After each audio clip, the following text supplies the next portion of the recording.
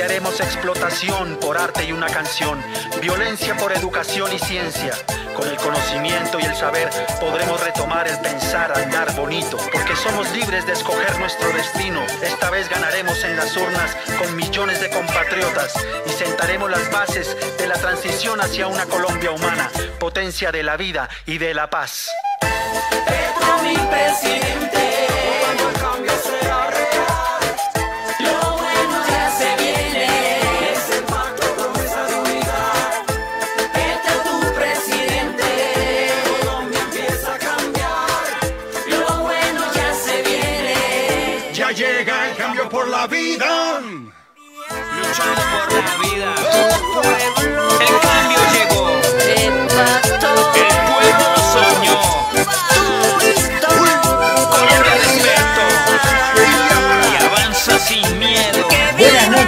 espectadores de La Via Yala, buenas noches, seguidores de esta coordenada sur. Hoy es un domingo de esperanza en toda América Latina, en nuestra América del Sur. Colombia vive un momento de grandísima esperanza por la llegada al poder de Gustavo Petro. Creo que es un momento inédito, prácticamente seguro que es un momento inédito en este siglo XXI para Colombia, pero me, atre- me atrevo a arriesgar que desde aquellos días que Jo- Jorge Eliezer Gaitán representaba una esperanza de cambio real en Colombia hasta el día de hoy, y eso sucedía en la década del 40 del siglo pasado, hasta hoy no se había generado una expectativa como esta y ya ahora sí la llegada de un presidente con un discurso totalmente distinto a la presidencia de Colombia, así que es un momento de gran esperanza, no solo para Colombia, sino para toda nuestra América. Creo que en esa misma línea y en esa misma coordenada sur estará Juan Ramón Quintana en el estudio de Avia Yala. Juan Ramón, ¿cómo estás? Hola Andrés, eh, muy buenas noches, muy buenas noches, queridos amigos, amigas que nos siguen todos los fines de semana en Avia Yala Televisión. Hoy no podemos esconder, Andrés, nuestra eh, emoción, no podemos esconder ni un tantito eh, las lágrimas que han brotado a partir del momento en que se declaró la victoria de Gustavo Petro y de Francia Márquez. Eh, para América Latina, como te decías tú, para el mundo entero, este es un momento memorable. Eh, uno tiene que ponerse en los zapatos de los colombianos para entender esta transformación de 180 grados de un país que ha vivido hasta el día de hoy en medio de la guerra y de la muerte, a un proyecto que quiere transformar el futuro de, Colombia y de América Latina por la vía de la paz, y de la vida, que son las columnas vertebrales del programa político que Petro, el presidente hoy electo, Gustavo Petro, hoy día ha explicado con una, con una nitidez, con una mística y con una claridad eh, eh, impresionante en su discurso de agradecimiento al pueblo colombiano. Realmente a, mí me, arrancó lágrimas de emoción porque entiendo eh, el dolor, el drama, la tragedia que ha vivido el pueblo colombiano desde hace más de 200 años, pero de manera más intensa durante los últimos 50, 70 años, como decías, desde el asesinato de Jorge Eliezer Gaitán en 1948, cuando se produjo un gran baño de sangre, el momento en que una fuerza política de izquierda pretendía llegar al gobierno. Y hoy, sin baño de sangre, en una jornada democrática, Gustavo Petro está reivindicando de alguna manera esa muerte cobarde de Gaitán en, 1948. Un día memorable, un día histórico, un día de felicidad para Colombia, para América Latina y para el mundo, Andrés. Así es, y además Juan Alberto Sánchez Marina, a quien saludamos, está en Bogotá, él es periodista, analista, corresponsal y director del medio de por medio. Además, Juan Alberto para mí por lo menos, sorpresivo, porque yo pensé que las fuerzas de derecha se iban a juntar tras la candidatura de Rodolfo Hernández y iban a superar a Gustavo Petro, quien parecía que su techo era lo que había obtenido en primera vuelta. Esa era la idea que yo tenía en la cabeza cuando hablamos eh, en la primera vuelta y yo pensé, no va a poder ganar Gustavo Petro, pero sí logró imponerse. Juan Alberto, ¿cómo lo viste? ¿Qué análisis haces? Bueno, se pudo, en efecto. Primero que todo, mi saludo para ti, Andrés, también para Juan Ramón y para la audiencia del canal de Avia Yala y la de ustedes, de su programa. Sí, o sea, comparto. Antes querría referirme un poco a ese contexto histórico que, que presenta Juan Ramón, que me parece muy, muy acertado. Es decir, por eso la emoción también, esa emoción tan grande después de más de 200 años como vida republicana, donde siempre han mandado unas pocas familias. Además, ni siquiera es que uno pueda decir, ha mandado la derecha, ha mandado 50 familias. No, no pasa de allí. Se ha transmitido de generación por generación. Genéticamente se transmite el poder aquí en Colombia. Y además demasiado cerrado. Y hace, bueno, las, los episodios de los muertos, de los asesinados, antes de, de cualquier elección, cuando han tenido alguna opción, pues es una seguidilla larga que precisamente Jorge Eliezer Gaitán es una expresión que después desencadena esa época siniestra de nuestra historia que es la violencia, que costó, la cifra nunca fue exacta, nunca ha sido determinada, pero alrededor de 400 mil muertos. Eso eh, es una de las tantas eh, debacles que ha tenido este país, que en realidad el siglo XIX fue una sucesión de guerras. Cada cinco años había había una batalla, una batallita, un levantamiento, una guerra, en general una guerra permanente. Y bueno, hasta la época reciente de los años 80, que fue muy triste, muy asiaga además, ese genocidio de todo un movimiento político, la Unión Patriótica y el asesinato de líderes del mismo M19, Carlos Pizarro, que empieza del movimiento que hace parte, hizo parte Gustavo Petro en su juventud, pues que es asesinado también junto a otros líderes de esa Unión Patriótica llegar a esto, por eso la emoción tan fuerte también, después de, de esas épocas tan difíciles y de esa tradición donde nunca se había estado a las puertas del poder de una manera tan clara y además llegar al poder.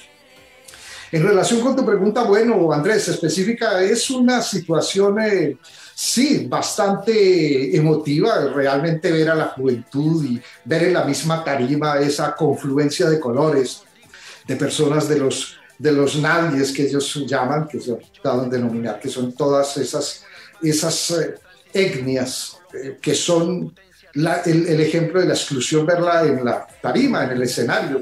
Eso es bastante emotivo, bastante expresivo además de lo que representa esta nueva fuerza que ante todo creo que es esperanza, fundamentalmente es la palabra que creo que convoca en estos momentos.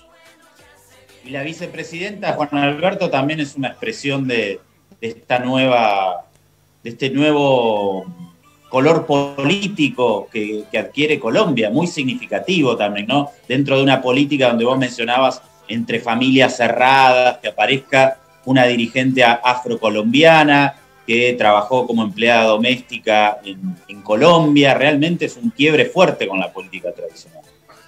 Es un quiebre absoluto. Mira, en este país la independencia, eh, la, perdón, la independencia se obtuvo, sí, en 1800, la, 1820, el grito de independencia realmente es de 1810, pero la esclavitud eh, se, por decreto, por ley, en 1857, pero en realidad lo que mencionaba Gustavo Petro hoy es muy cierto. Hay unas nuevas maneras y unas nuevas formas de esclavismo que siguen siendo imperantes en el presente, actualmente, en, eh, camuflado bajo diferentes nombres y diferentes modalidades. La llegada de, Francia a la vicepresidencia no solo es la primera vez que una persona afro llega a una posición de esa significación, de esa importancia a nivel político, sino además es la reivindicación general de toda una exclusión ancestral que no solo representa a las comunidades afro, sino a comunidades indígenas contra las cuerdas en diferentes partes del país, a los campesinos, a sectores rurales totalmente olvidados del Estado, eh, no solo en sus posibilidades de acceso a los eh, elementos básicos, sino a, la, a, los derechos básicos, a los derechos sociales, a la educación, a la salud, sino a la misma alimentación, a las maneras de sobrevivir, acorralados en territorios cada vez más eh, cercados por esa ambición capitalista. El poder de los terratenientes aquí ha sido muy fuerte y precisamente eso es una de las luchas que apenas ahora comienza y que va a ser de las más difíciles de confrontar, que es el poder grande que tienen estos sectores terratenientes que lo han tenido desde la, ahí sí no son siquiera 200 años, los han tenido desde los tiempos de la colonia, desde la época de la colonia, desde los famosos encomenderos, desde la conquista prácticamente que termina desde 1550. Ese es, es el momento en que empieza a consolidarse las bases de esa estructura tan grande, tan poderosa que sigue siendo vigente, de los terratenientes y las familias a cargo también bastante limitadas en número. Esa va a ser una de las confrontaciones grandes en el inmediato porvenir de la presidencia de Gustavo Petro. Sí, el, eh, Andrés, eh, Juan Alberto, eh, yo, tengo la, impresión que esta victoria eh, histórica, grandiosa, eh, como que tiene tres componentes muy fuertes, yo me imagino que tienen más, pero estoy pensando en que además de ser una gran victoria democrática, que, eh, que, está inspirada precisamente en todo aquello que dice Juan Alberto, es una, es una victoria que se ha construido en, un, en, una, eh, en una necesidad ya impostergable de vivir en libertad, ¿no? Eh, pero además creo que eh, esta interpelación a la opresión, a la, a, la, a, la falta de, de, de derechos, la, a la, falta de, de, oxígeno para vivir con cierta decencia, como se dice eh, en Colombia, tiene, yo creo que también está alimentada por una fuerza poderosa que se ha estrellado contra este muro aparentemente invencible del miedo. Es, es, una victoria inspirada en la libertad de un pueblo que hoy día se ha pronunciado, que a mí me ha llamado eh, increíblemente la atención. Eh, Petro y Márquez han escalado de 8 millones de votos hace tres semanas a 11 millones de votos. Yo creo que ahí ha habido una determinación de la conciencia crítica histórica del pueblo colombiano. Está inspirado en en esta necesidad de derrumbar el muro del miedo. Y tengo la impresión que estos dos elementos se han ido destilando ¿no es cierto?, en las grandes movilizaciones de, del año 2019 que han sido coaguladas por, eh, por, por la pandemia, pero que se han mantenido, ¿no es cierto?, presentes. Creo que este clima eh, de eh, elaboración, digamos, de una racionalidad política por la libertad, por la democracia, por la inclusión, por y contra el miedo, creo que ha terminado finalmente derrotando, ¿no es cierto?, a este legado de más de 200 años de dominio político, económico, cultural, financiero. A mí, por eso me conmueve, me estremece ¿no? la, victoria del pueblo eh, colombiano teniendo en cuenta esta su larga trayectoria de, esta larga cultura de la muerte, una cultura tanática, ¿no? que hoy día le está dando oportunidad a la, a la vida, a- al amor, a la esperanza y a, colocar a Colombia en un lugar distinto al que lo destinaron sus élites, sus poderes dominantes y las fuerzas externas que seguramente sobre ellas hablaremos más adelante. Con un candidato, Juan Ramón y Juan Alberto, y Juan Alberto, con un candidato, este outsider Rodolfo Hernández, que quedó como demasiado desprolijo para las, incluso para las élites, Juan Alberto. ¿Qué, qué pasó con la candidatura de Rodolfo Hernández? Bueno, hay varios elementos ahí que, es interesante, o que quiero señalar algo. En relación con lo que dice, que comenta Juan Ramón, creo que es muy, muy atinado el, comentario desde mi perspectiva. Creo que eso, hay dos factores que han sido determinantes para este triunfo eh, en, esta, en estos momentos.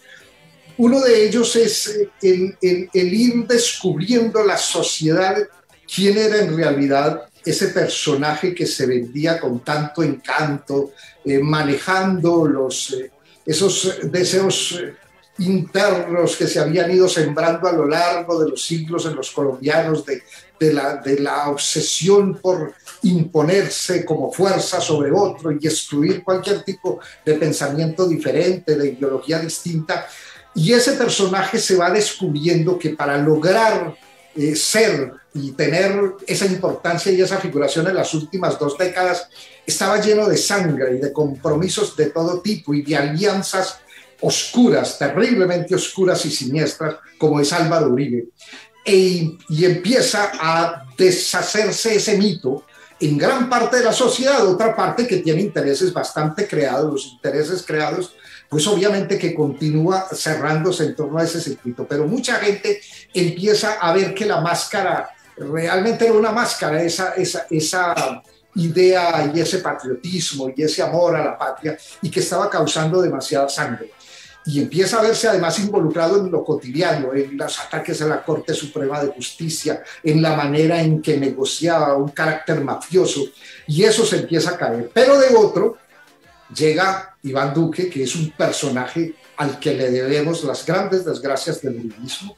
Yo creo que el país debe estar muy agradecido por eso, porque es un personaje tan incapaz y con una manera de asumir su incapacidad y su ineptitud a través de la represión para sustentar un poder del que carecía, para hacer creer que tenía poder, recurre a la represión de las fuerzas populares, de, los sectores marginados más indefensos, de los jóvenes.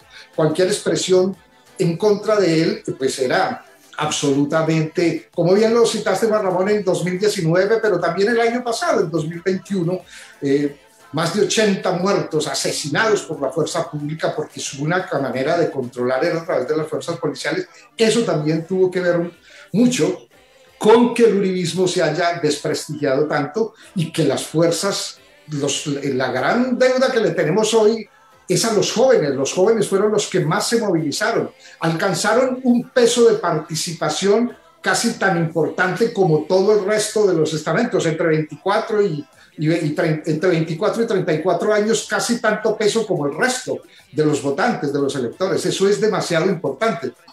la movilización general, es decir, aumentó la votación de una manera muy significativa, Andrés, es que tenemos una participación del 50, más del 56%. Eso pocas veces se ha visto, ¿no? Se había visto de esa manera. Es la votación más alta, es el presidente, ahora Gustavo Petro, es el presidente con la mayor votación de la historia. Eh, con 720 mil votos de diferencia, hasta donde estaban los últimos registros, ya el 99% de la votación escrutada. 700 mil votos de diferencia cuando todo el mundo calculaba o hay muchos temores, como bien lo dices Andrés, de que hubiera una diferencia muy, muy mínima, no, no tan amplia, pero realmente creo que esos son factores que, que aclaran y le dan eh, una fuerza para las decisiones que se tomen de aquí en adelante, que son bastante importantes. Le dan una legitimidad que hay que considerar porque realmente hay transformaciones que seguramente van a empezar a darse. Bueno, les propongo, si les parece que hagamos un corte, si nos podés esperar unos minutitos, Juan Alberto, y Ramón, si te parece, lo hacemos con un fragmento del discurso de Gustavo Petro hace minutos cuando eh, celebró su llegada a la presidencia de Colombia. Como decía Juan Ramón, un discurso muy, muy emotivo. El mismo Gustavo Petro estaba muy emocionado, dijo al final que él había soñado varias veces con ese momento, que no se sabía, no sabía él si iba a ser posible o no. Realmente es una hecatombe no solo para Colombia, sino me imagino cómo estarán las cabezas hoy en Washington analizando lo que pasa en Colombia. Por acá tenía, a ver si antes de corte lo encuentro, por ahí les interesa escucharlos también, el Twitter de una política y congresista estadounidense. Bueno, se los, se los tengo para el, para el regreso del corte. Hagamos un corte si les parece, estamos transmitiendo en vivo esta coordenada sur por el Avia Yala, este día histórico de la victoria de Gustavo Petro y la izquierda por primera vez que llega al poder en Colombia. Lo escuchamos unos minutitos y al regreso seguimos en esta charla junto a Juan Ramón Quintana y Juan Alberto Sánchez. Lo bueno ya se viene. Si queremos sintetizar quizás en tres frases en qué consiste un gobierno de la vida, yo diría, primero, en la paz. Segundo, en la justicia social. Tercero, en la justicia ambiental.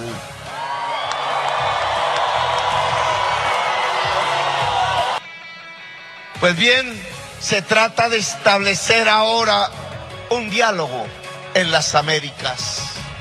Me han llamado casi todos los presidentes de América Latina.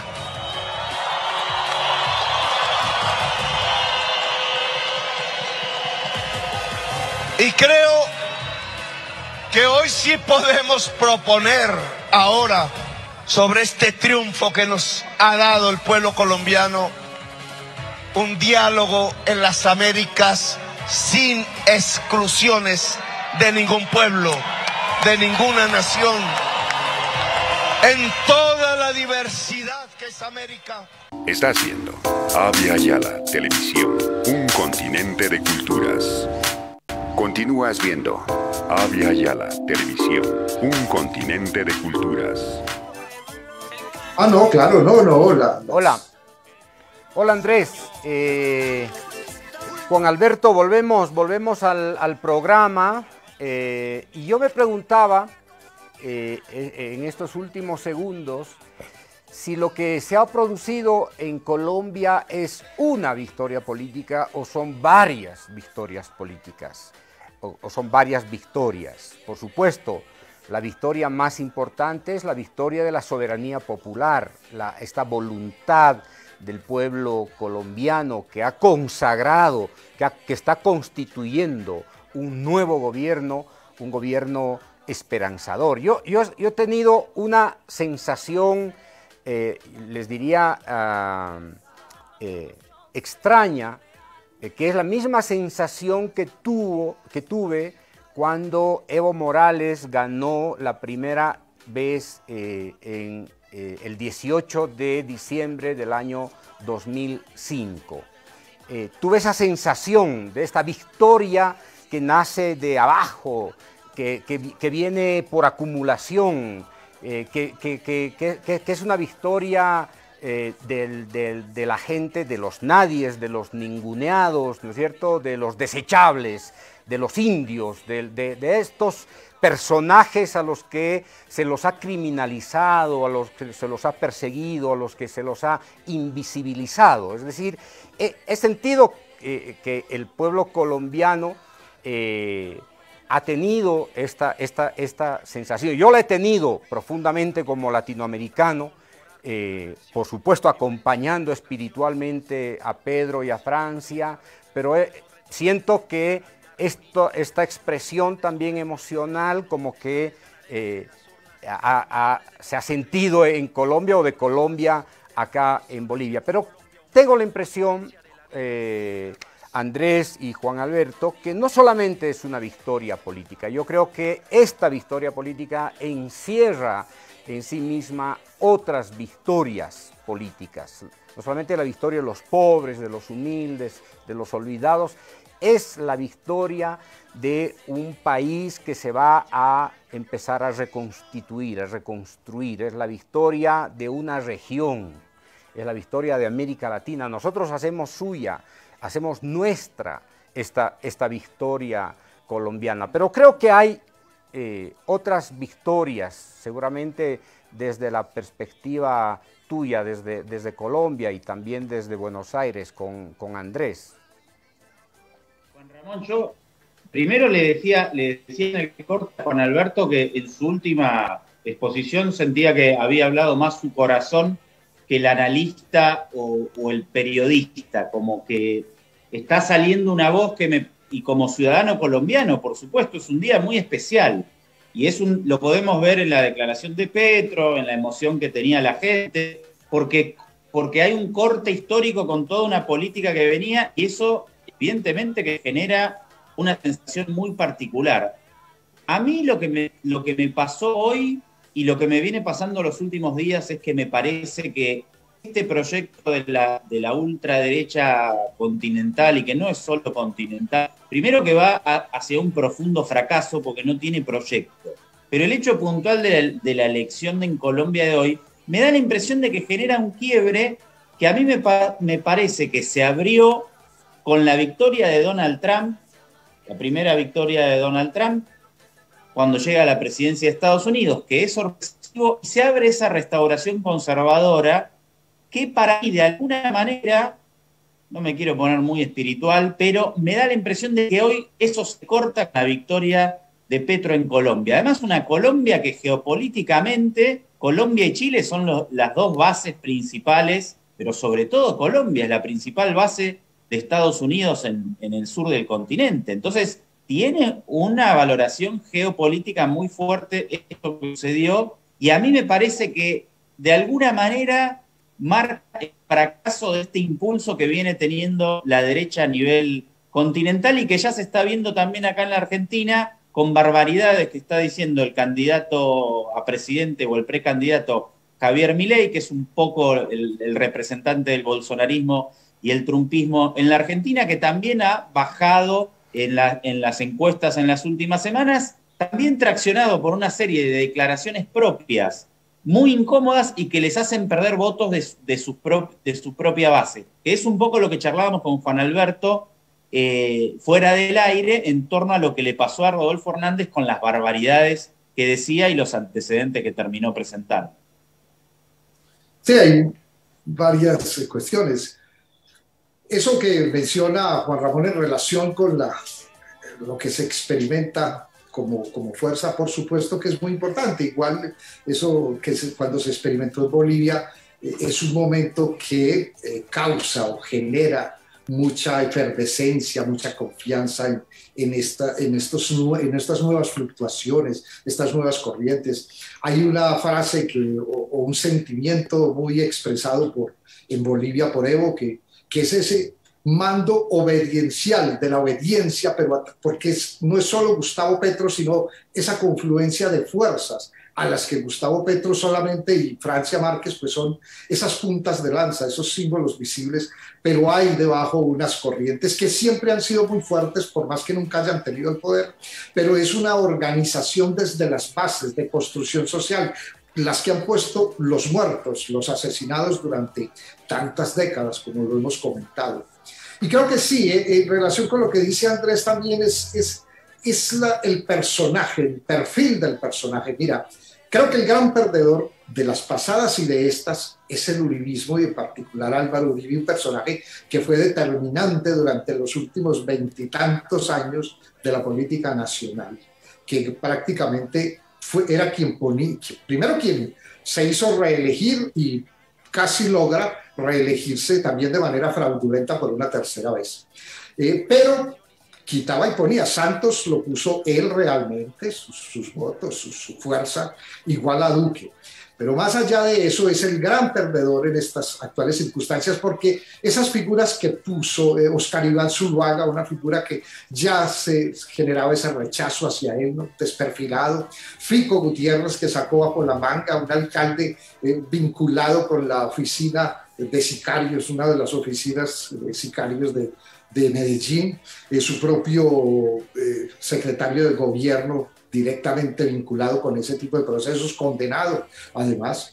Es decir, todos esos, esos personajes no. Y el, el, C, la alternativa C, la tercera alternativa, la tercera opción, Rodolfo Hernández, un personaje que representa todos esos valores del narco, del traqueto, como se le dice acá, con sus cadenas de oro, sus fiestas yaquis en, en, Miami, en Biscayne, allí esa, esa fiesta decadente, pero que expresa una serie de valores y de transformaciones culturales que surtieron efecto en esta sociedad, valores eh, afianzados por ese nuevo rico, por esos poderes mafiosos tan insertos en la sociedad pero también en el, en el, gobierno actualmente, porque son vínculos directos con estas fuerzas ligadas al paramilitarismo. Todo ese tipo de, de, transform, de transformación cultural en el, los mismos imaginarios del país, pues son los que expresa este señor, Rodolfo Hernández que cada que hablaba, la recomendación que termina haciéndole es que no hable porque cada que hablaba atentaba contra su propia campaña. Ese personaje que tuvo gran opción y tiene una votación enorme de más de 10 millones de votos, eso es una barbaridad, que no toda se debe a, a, a, al antipetrismo, porque gran parte de esos votos es antipetrismo, pero también gran parte es del propio uribismo. Para cuadrar las cifras que alcanzó Gustavo Petro, parte de ese uribismo tuvo que haber dejado de votar por Rodolfo Hernández y no votado aunque es muy bajo el porciento de los votos en blanco, o tuvo que haber optado por votar en alguna medida por Petro. Y ese uribismo y esos votantes del propio, eh, del propio Rodolfo que lo hicieron en una primera vuelta, se empezaron a decepcionar del personaje, atentaban contra los valores conservadores más de ultranza de muchas regiones, pues atenta contra los símbolos religiosos atenta contra las buenas maneras, un personaje que deja ver además la doble moral, que es característica de muchos de estos gobiernos, pero que lo expresa desde la candidatura, los vínculos con la corrupción, vínculos directos, acusado ya por la fiscalía. Entonces, ese personaje tan complejo, pues fue el que tiene además una fuerza grande, alcanza una fuerza grande, pero realmente no le ayudó mucho a este uribismo que estaba buscando una tolda donde dónde seguir, dónde continuar en el poder, porque es que una de las grandes necesidades que tienen los gobiernos de las últimas dos décadas, más allá de continuar eh, usufructuando del Estado, como parasitando del Estado, ampliando sus fortunas, conservando muchas riquezas mal habidas, eh, una de las necesidades que ha tenido grandes es la impunidad, eh, requiere mucha impunidad. De hecho, va a dejar el lastre de la Fiscalía, de la todos los órganos de control tomados. Y esa va a ser una de las batallas fuertes que va a tener que dar. Ha penetrado gran parte de las fuerzas militares del, del estamento militar. Las reformas planteadas van a ser bastante complejas de llevar a cabo. No hay una uniformidad. Los uniformados eh, no tienen un criterio uniforme. Hay, hay fuerzas internas que estaban muy en desacuerdo con lo que se venía gestando, con ese vínculo tan directo entre altos mandos de las fuerzas militares y el crimen organizado y el narcotráfico, hay mucha inconformidad al interior de esas fuerzas que tuvieron una vocería, que fueron muy consideradas durante el proceso de paz eh, de Juan Manuel Santos con las FARC, pero que habían sido prácticamente excluidas de, de los mandos, pero que seguían siendo una fuerza importante eh, que son una, un estamento, una parte del estamento que no, no estaba de acuerdo con esos procedimientos que se venían dando, ni esas directrices que venían desde, desde la política nacional. Pero además las fuerzas policiales. Y dentro de las fuerzas policiales se plantea una reestructuración. El, el presidente electo no se refirió hoy a, a ese tema, pero ese es uno de los temas que va a ser bastante importante y controversial próximamente. Sí, antes de... Creo que me extendí demasiado, ¿verdad? Eh, Juan Alberto, antes de entrar eh, en, los, eh, en los grandes desafíos que tiene el gobierno de Petro, yo, yo, yo quería un poco sintetizar esta idea acerca de la derrota del uribismo, es decir, uno de los, uno de los actores de la, de la derrotados hoy en Colombia, por supuesto, es el uribismo como la síntesis de esas élites eh, criminales vinculadas a todas las organizaciones, ¿no es cierto?, ilegales y mafiosas que han convivido carnalmente en el Estado colombiano. Pero yo diría, eh, yo quisiera recoger eh, un, Twitter del presidente Andrés Manuel López Obrador a tiempo de felicitarlo al presidente Petro y, esto, es lo que, esto es lo que sintetiza el uribismo, pero vamos a ver que el uribismo no se agota en las fronteras del Estado colombiano. ¿Qué dice el presidente Andrés Manuel López Obrador? Le dice, él señala en su Twitter que el triunfo de Gustavo Petro es histórico. Los conservadores de, Colombia siempre han sido tenaces y duros, más de 200 años el escritor José María Vargas Vilas relataba que los dictadores de su país mojaban en agua bendita su puñal antes de matar. Es decir, había, había una, una suerte de bendición de la, de la iglesia, había una suerte de, de complicidad silenciosa de la iglesia para la subsistencia de este sistema. Me imagino que a Andrés se, les está, se le está ocurriendo ¿no? la, idea de, eh, del golpe del, 2019 en Bolivia. ¿No? Los golpistas acá tuvieron que mojar, ¿no es cierto?, los fusiles en agua bendita para ir a masacrar en Sencata y en Sacaba y no, se, y no se diferencian en nada, ¿no es cierto?, a los uribistas de Colombia, los uribistas, Tuto Quiroga, Carlos Mesa, eh, eh, Luis, Luis, Fernando Camacho, Doria Mendí, es decir, no hay diferencia en eso. Pero tampoco hay diferencia respecto a la, yo diría, al vínculo ideológico político del uribismo con la derecha boliviana, que es ese vínculo de domesticación, de subordinación, ¿no es cierto?, a los intereses eh, norteamericanos. El uribismo, imagino, que es también expresa la síntesis de la, del sometimiento de la soberanía colombiana a los intereses norteamericanos. Acá la derecha, durante más de 20 años, ha hecho lo que seguramente Uribe hizo en sus dos gestiones. Pero bueno, el tema es este. Eh, el tema es este. Solamente para cerrar, Andrés, disculpa eh, el tiempo, pero solamente para cerrar, es que el uribismo, ¿no es cierto?, expresa una política ¿ah? norteamericana, no solamente para Colombia, sino para América Latina. Y a través del uribismo, América Latina ha sido contagiada por esta derecha, ¿no es cierto?, violenta, fascista, antidemocrática, que ha vivido en medio de la impostura democrática. Disculpa, Andrés, adelante. No, no, no. No, estaba pensando mientras hablabas en la situación de Luis Fernando Camacho, que de hecho fue a reunirse con Iván Duque en su momento en 2019, igual con, con Jair Mesías Bolsonaro. Entonces esa, esa derecha cruceña tan rancia queda, queda un poco huérfana realmente. El uribismo sale del poder en Colombia, si como todo parece que va a suceder, Jair Bolsonaro pierde las elecciones en Brasil. Obviamente que esta situación de Colombia tiene una implicancia geopolítica eh, muy grande.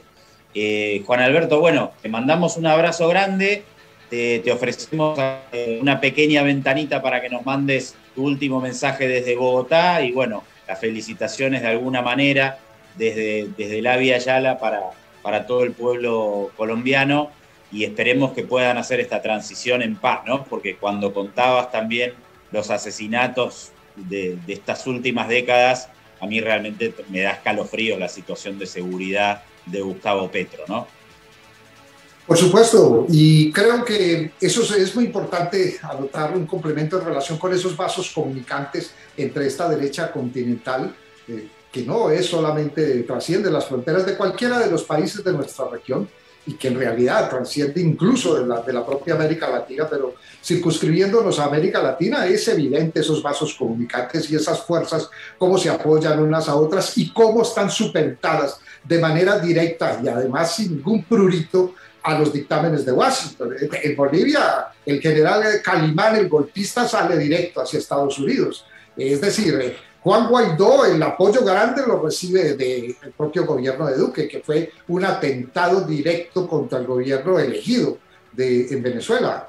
Y el apoyo siempre ha sido, Colombia siempre ha votado en contra de las disposiciones, incluso regionales, donde ha habido unidades. La, en la propia invasión a las Malvinas. Colombia es el único país que vota apoyando a, lo, a nuestros amigos los ingleses, que son los peores saqueadores eh, y que solo los reemplazan los Estados Unidos en Colombia, evidentemente, y en América Latina de manera similar. Un imperio reemplazó al otro.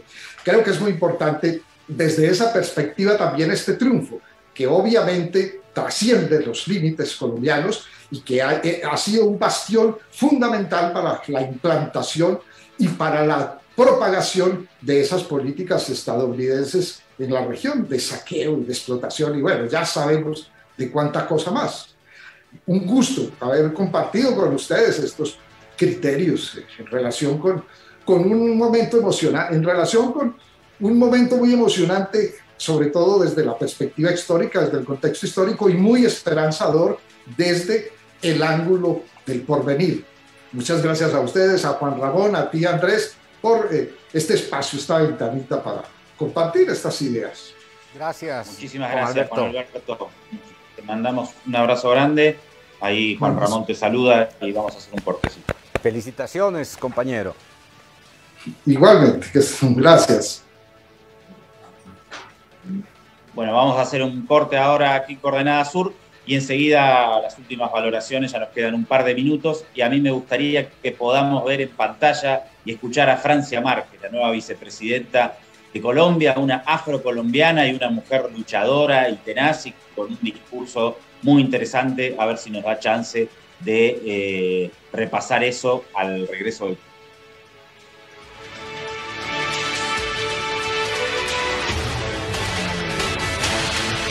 Estás viendo Avia Yala Televisión, un continente de culturas. Continúas viendo Avia Yala Televisión, un continente de culturas.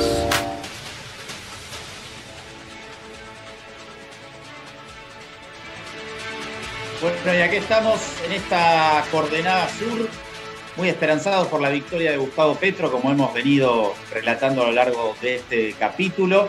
Y ahora, claro, queda lo más difícil, que es consolidar esa esperanza con la gestión, que es algo muy complicado, pero lo importante y el dato es que se quiebra una historia de conservadurismo rancio en la hermana República de Colombia con eh, el triunfo del doctor Gustavo Petro, Juan Ramón.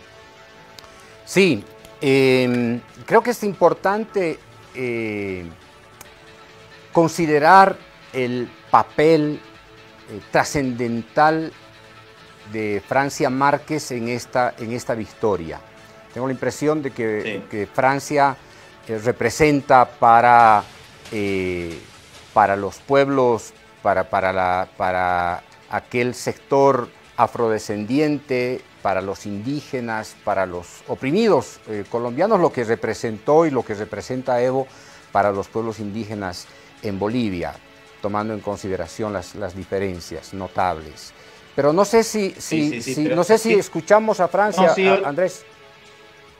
Sí, hoy viéndola, una cosita, Juan Ramón, sobre lo que decías, me hizo mucho recuerdo de Evo Morales. Obviamente, es distinta la situación y el contexto, pero, pero hay cierta cuestión de reivindicación de los olvidados y del discurso que tiene Francia que me hizo mucho recuerdo a los primeros años de Evo Morales. Vamos a verla en un recorrido que hizo en, su departamento natal, la acompañó una periodista de, de Caracol y vamos a compartir esas imágenes. Fuertemente custodiada, la candidata a la vicepresidencia Francia Elena Márquez Mina llegó a Popayán, la capital de su natal Cauca, para atender la primera entrevista del día en un medio local. Yo de niña quería ser actriz, quería ser cantora.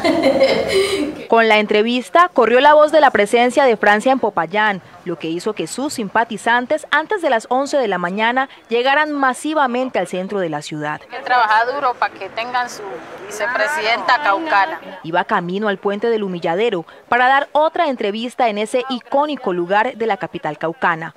Recorrió las empedradas calles y en medio de su esquema de seguridad no se negó a ningún saludo, abrazo o selfie. Buenos días, saludo a todo mi pueblo, a mi gente caucana. El cariño de la gente de Francia, ¿cómo lo recibe? No, con mucha alegría, con mucho entusiasmo. Pues, esta es mi capital, ¿no? Jugando de local. ¿Cómo está? De Silvia. Ah, bueno, un placer. Saludo a la gente allá en Silvia. ¿Qué le dice uno a estas personas que son unos artistas, que la tienen llena de artesanías? Sí, vea, tenía solo dos y ahora ya tengo las manos llenas. ¿Qué representan ma- Francia precisamente? Todas estas pulseras que tiene usted, toda esta artesanía. Yo creo que son los sueños de la gente, ¿no? las esperanzas. Francia, usted es una mujer, se describía en, las primeras entrevistas que le escuché esta mañana como una mujer de carácter fuerte, pero también encuentro una mujer alegre. ¿Y cómo es ese contraste? Y una mujer negra que viene a trabajar en una casa de familia, que es de una zona rural, de un departamento marginado, que ha vivido el conflicto armado y la violencia, o sea, nos toca hacer un carácter para poder que, que tengamos reconocimiento y para poder avanzar en el propósito de lo que quisieron, queremos. Si yo no fuese así, no estuviera aquí. Ha sido ese carácter que me ha permitido ir rompiendo barreras y abriendo puertas para poder entrar, ¿no? para poder llegar al lugar donde hoy nos estamos disputando. Y eso no me quita la alegría de, de poder compartir con mi comunidad, de poderme abrazar con mi gente, de poder saber de dónde vengo, quién soy. ¿no? Tengo mi corazón bien puesto. Los indios, ustedes quédense allá, no jodan y déjenos vivir a nosotros tranquilos. Yo creo- Francia es una suareña de 40 años, es hija de una partera, se viste de etnia y luce con orgullo y alegría los diseños y artesanías afro. Sin embargo, muchos cuestionan a primera vista la seriedad de su rostro.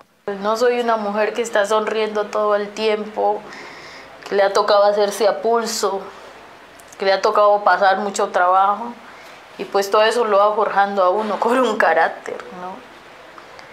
Eh, lo que sí, sí tiene que saber la gente es que soy una mujer que le gusta la justicia, que apela por la dignidad y eso es lo importante, ¿no? Y que tiene todo el amor para construir. Ha sido el amor lo que me ha movido.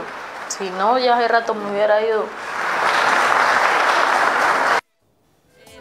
Francia Márquez es la nueva vicepresidenta de Colombia, vicepresidente electa, pero claro, lo que charlábamos antes es una postura muy fuerte con aquellos políticos tradicionales.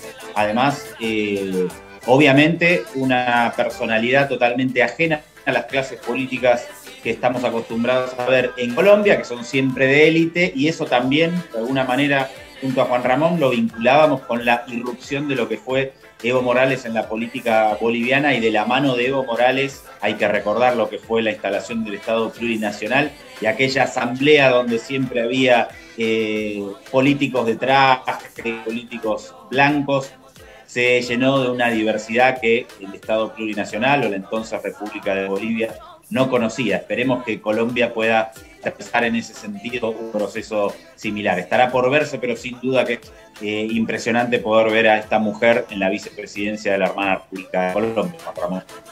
Sí, tremendo, tremendo desafío que tiene Francia, pero yo, yo tengo la seguridad que por, eh, por toda la experiencia, por el dolor que carga, por el racismo que ha enfrentado, tengo la impresión que se va a sobreponer a todo el ataque que seguramente va a, eh, va a dirigirse contra ella por ser mujer, por ser afrodescendiente y además y fundamentalmente por ser una luchadora social.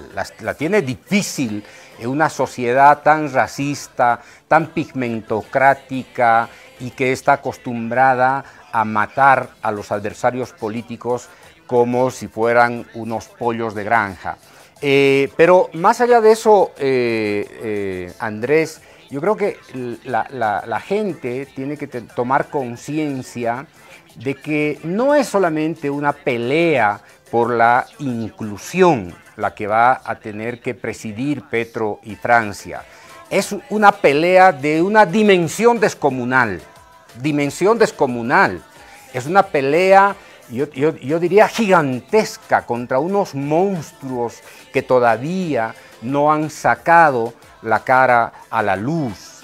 Eh, y eso tiene muchísimo que ver con estos poderes fácticos en Colombia, como son las élites empresariales intolerantes, como son los medios de comunicación, ¿no es cierto?, que están colgados de la, de la política guerrerista, como es la iglesia ultraconservadora, como son estas fuerzas políticas eh, criminales, uribistas, eh, es decir, los desafíos que tiene tanto Petro como Francia son, eh, son descomunales. Y, yo, escuchaba algún comentario de algún, de algún analista colombiano que decía que cualquier decisión que tome Petro y Francia, cualquiera que sea, en el campo social, en el campo político, en el campo económico, va a equivaler a una revolución. Porque Colombia se ha acostumbrado a vivir de la inercia, a vivir del dominio eh, de los poderosos, a vivir de las complicidades, de las impunidades, de la guerra, del asesinato, etcétera, etcétera. Por lo tanto, en la medida en que eh, logren avanzar un centímetro cuadrado, ¿no es cierto?, en su programa, eso va a significar una transformación radical. Fíjate, esa es la dimensión del desafío que tiene, que tiene tanto Petro como, como Francia. Algunos, algunos monstruos o monstruas sí dan la cara, Juan Ramón. Una es de Estados Unidos.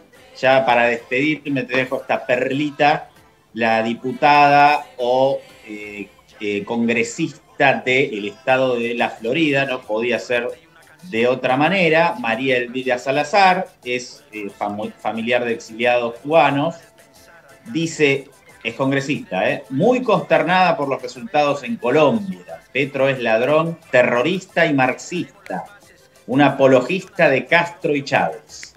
Desde el Congreso de Estados Unidos estaremos vigilando sus acciones para velar por los derechos y libertades de los colombianos. Dios proteja a mis hermanos colombianos. Bueno, evidentemente que se abre una batalla geopolítica muy importante. Vamos a ver cómo maneja Petro. Algunas cosas adelantó durante su campaña de sus relaciones con Estados Unidos. Así que las cartas están sobre la mesa y vamos a tener seguro eh, un porvenir bien movidito en toda la región, pero creo que la esperanza está en que esta campaña de la ultraderecha continental no tiene dónde ir y yo siento por lo menos que va a fracasar estrepitosamente. Esto de Colombia es el primer gran paso. Juan Ramón, les mando un, abrazo, un grande abrazo y nos encontramos la próxima semana. Claro que sí. No, por supuesto, Andrés, simplemente para, para cerrar, creo que eh, el fracaso de la Cumbre de las Américas, que se desarrolló entre el 6 y el 10 de junio, ha tenido como corolario la gran victoria del pueblo colombiano. Y esta victoria va a significar, sin duda alguna, un proceso eh, político que Petro va a tener que calibrar milimétricamente y tiene que ver con el desmontaje de la ocupación norteamericana del pueblo colombiano. Tiene que ver con un proceso de desmilitarización, es decir, el tránsito de este contexto de guerra a un contexto de paz. Tiene que ver con el programa del mismo Petro que ha propuesto la paz. Y la paz es un objetivo ¿no es cierto?, inalcanzable si Estados Unidos decide continuar la guerra en Colombia o hacer de Colombia la continuidad de su política de guerra contra los pueblos de América Latina y del mundo. Eso lo veremos seguramente en nuestros próximos programas, pero la política de paz, la justicia social y la justicia climática, tengo la impresión que no encajan para nada en la política del dominio imperial sobre América Latina y este será un territorio en disputa que tendrá que eh, ganarlo el pueblo colombiano como lo ha hecho en esta jornada épica del 19 de junio del año 2022. Felicidades al pueblo colombiano, un gran abrazo para los compatriotas eh, colombianos y bienvenida la paz, bienvenida la justicia bienvenida eh, la lucha contra la extrema pobreza en Colombia y en América Latina. Un gran abrazo, queridos compañeros, compañeras, y les agradecemos por su atención esta noche. Cuidando los bolsillos de las familias, más libertades y derechos para los que prenden con fuerza y humildad. Colombia, luchando por la vida. Tu pueblo,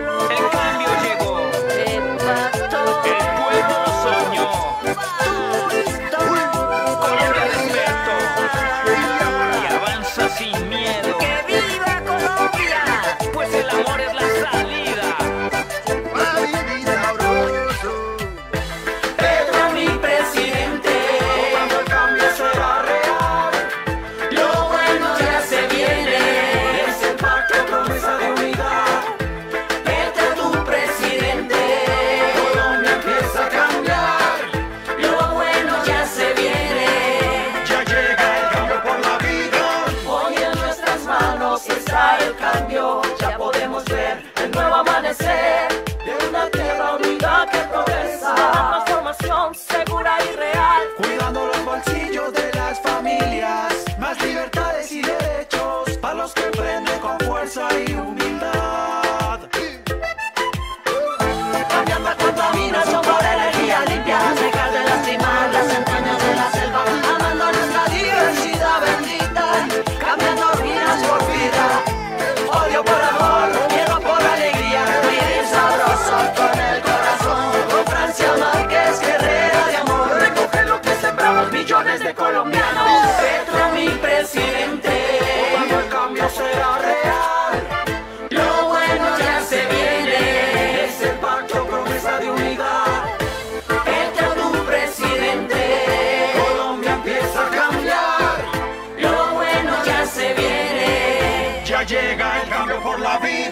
Cambiaremos explotación por arte y una canción, violencia por educación y ciencia. Con el conocimiento y el saber podremos retomar el pensar, andar bonito, porque somos libres de escoger nuestro destino. Esta vez ganaremos en las urnas con millones de compatriotas y sentaremos las bases de la transición hacia una Colombia humana, potencia de la vida y de la paz. Mi presidente,